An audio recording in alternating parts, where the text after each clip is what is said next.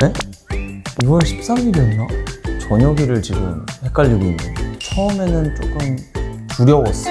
도민들 항상 사랑하고 감사하고 같이 또 했으면 좋겠습니다. 사랑합니다.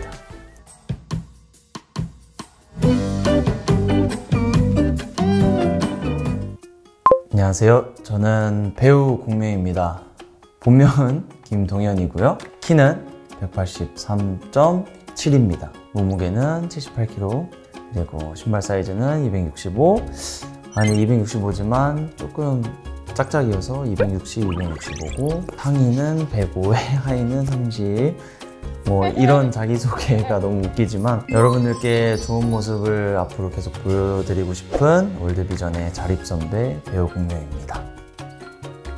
2013년에 배우로 데뷔를 하게 됩니다. 횟수로는 12년 차가 됐는데 어렸을 때 저는 좀 운동을 엄청 좋아했어요. 부모님이 막 이렇게 시키시려고 하지 않아도 다른 막 사람들이 전문으로 하는 육상 학교들이나 이런 데 스카우트 제의도 엄청 많이 오고 뭐 야구부 막 이런 데서 스카우트 제의 오고 막 이럴 정도로 운동을 엄청 좋아하고 잘 했었어요. 아, 나는 운동을 해야겠다라고 생각을 하면서 학창 시절을 보내던 와중에 제가 고등학교 1학년 때 저를 엄청 좋아해 주셨던 담임 선생님이 계세요.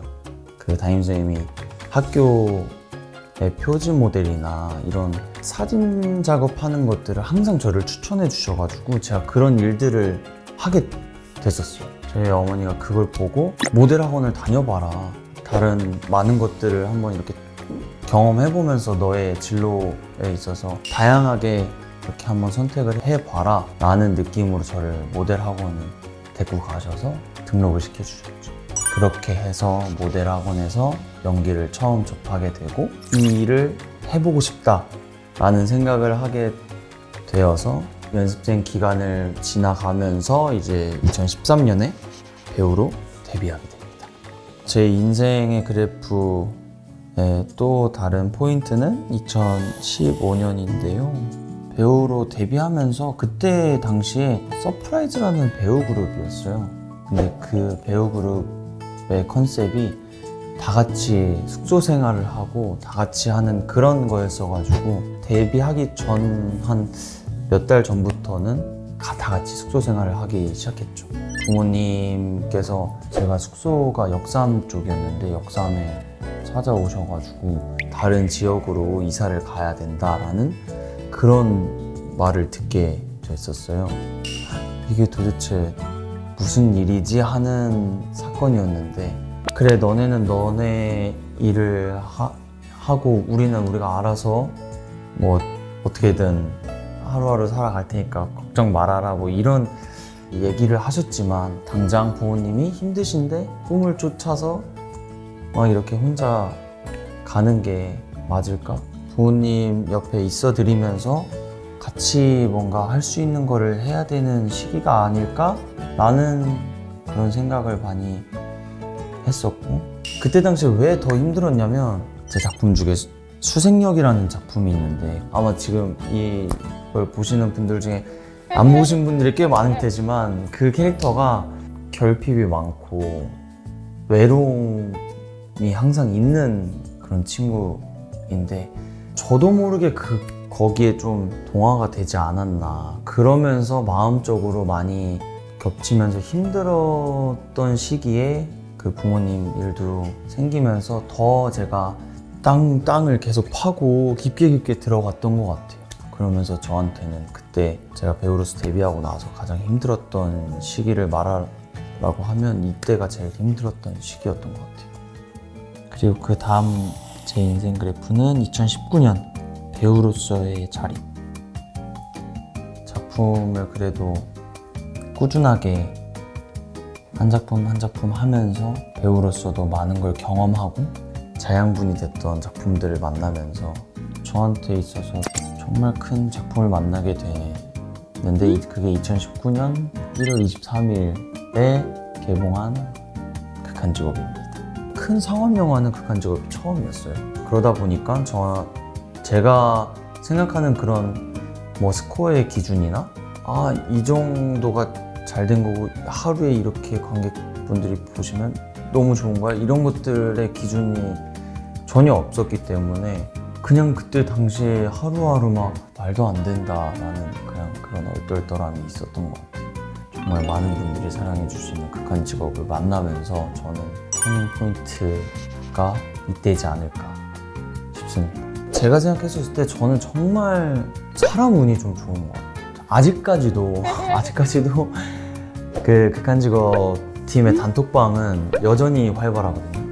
그만큼 정말 너무 감사하게 선배님들과 뭐 같이 했던 PD님 뭐 그리고 이명 감독님 그리고 어, 그때 제작사 대표님 뭐 이렇게 너무 다 좋으신 분들을 만나게 된 거죠. 그래서 이거에 있어서 감사함을 항상 가지고 살려고 하는데 제가 그 사람에게 받은 그런 뭐 사랑이나 좋은 영향을 나도 반대로 다른 사람한테 사랑을 줄 수 있고 좋은 영향을 줄 수 있는 사람이 되면 내가 받은 운을 다른 사람한테도 줄 수 있는 방향이다 라고 저 혼자 생각하면서 그렇게 살려고 합니다 선생님들 항상 사랑하고 감사하고 제가 앞으로도 잘할 테니 저를 놓지 마시고 한이 누나랑 이렇게 다른 작품에서 만났, 만났던 것처럼 다른 선배님들도 꼭 다른 작품에서 같이 또 했으면 좋겠습니다. 사랑합니다. 2024년 지금 이 순간까지 23년 작년 6월 네? 와 너무 빠졌는데? 저 벌써 군대 그게 다 빠진 것 같아요. 저녁일을 지금 헷갈리고 있네. 6월 13일이었나? 와, 씨, 기억이 안 나지? 아무튼 작년 6월부로 전역을 한 다음 제가 그린 그래프는 조금 조금씩 이렇게 상승하는 그래프를 그렸는데요. 일단 가장 큰 게 어떻게 보면 군대라는 국방의 의무인데 그냥 일반 친구들보다는 저는 많이 늦게 간 케이스이기 때문에 처음에는 조금 두려웠어요.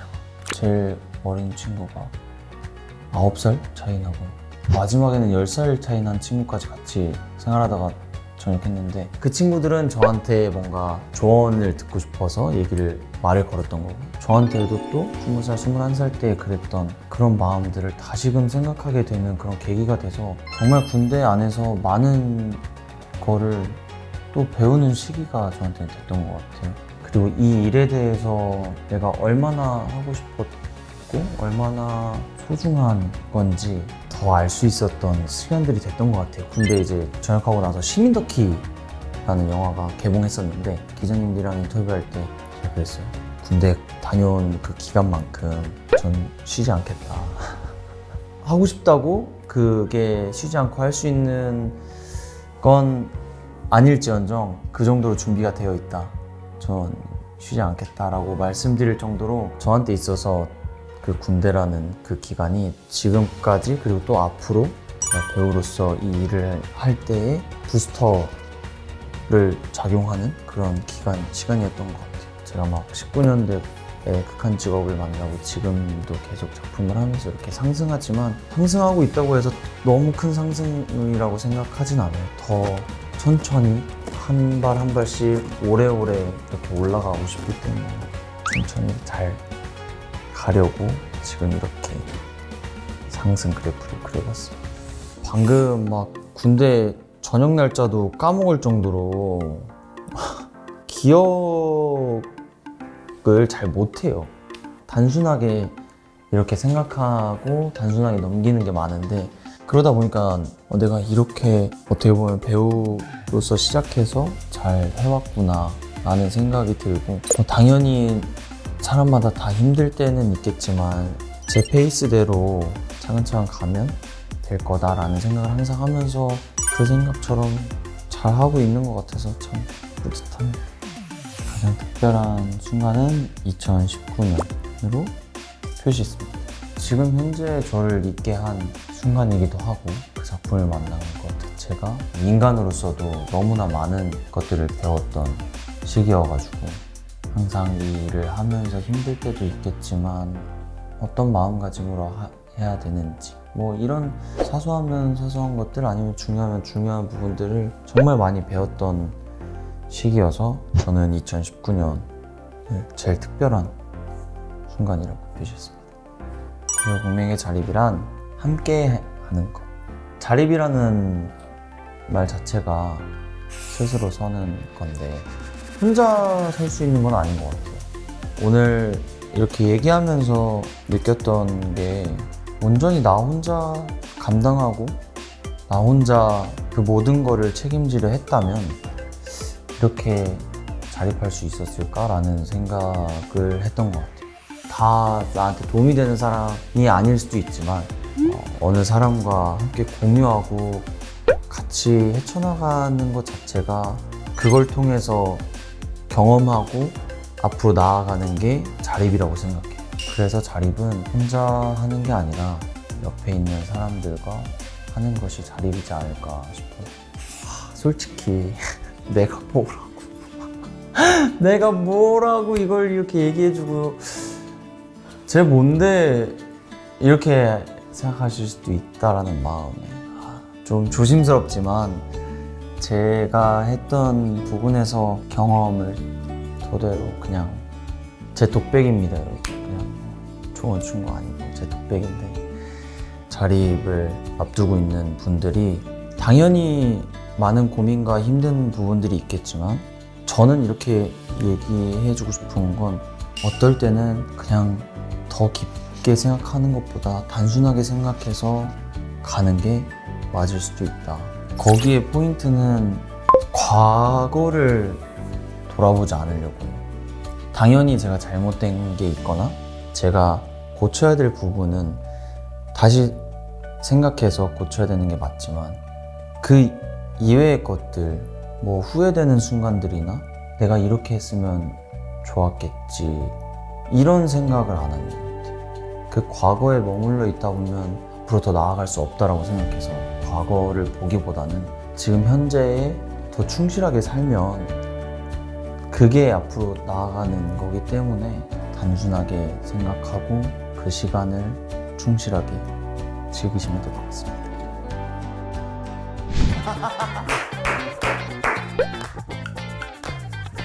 돈 들어올 때 나는 모니터를 할때 세상에 나와서 많은 분들이 보여지는 모니터도 있지만 내가 현장에서 그걸 모니터 할 때 그럴 때 나는 어 내가 살아있구나라는 생각을 하게 되는 뿌듯함을 느낍니다 아, 아 실제로 감정이입을 좀 상대방에게 그렇게 공감하는 게 좀 많은 편이어서 영화 그런 거 볼 때잘 우는 편 어떤 일을 하든지 그 일에 대해서 힘들고 불안할 때는 항상 존재하는데 개인의 취미 생활이 있어야지만 잘 넘어갈 수 있는 거예요. 대단하게 막 이렇게 뭐 해가지고 해봐야지가 아니고 끄적이더라도 그게 그림이 될 수 있는 거니까 자기의 취미 생활을 만드는 게 가장 좋은 방법.